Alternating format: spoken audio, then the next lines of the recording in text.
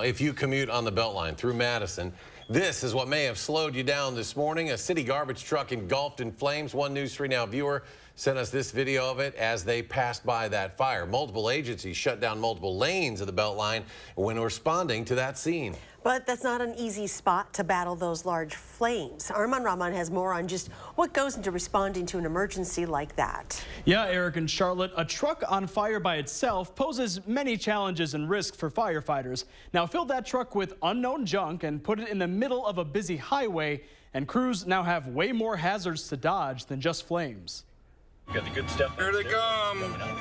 This is a scary enough scene to drive past before you're almost a part of it. It looked like one of the tires exploded, allowing that fireball and those gases to, to come out and kind of envelop. But at the time, fire crews didn't know what blew up or if it would keep exploding. Garbage fires or garbage truck fires can be very challenging. We don't know if it's the contents or if contents are in there. From your aerosol cans to uh, you know smaller propane cylinders that people might uh, discard in their trash.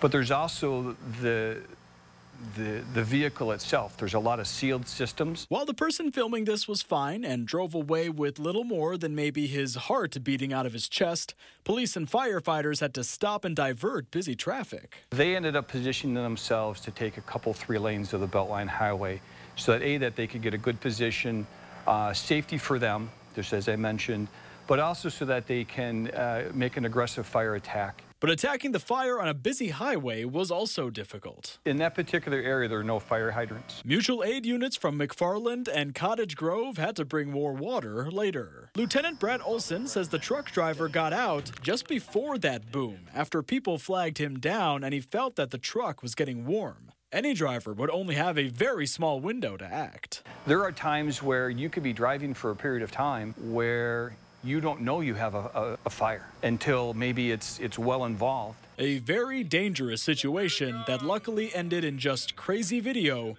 and a crazy story. It was impressive.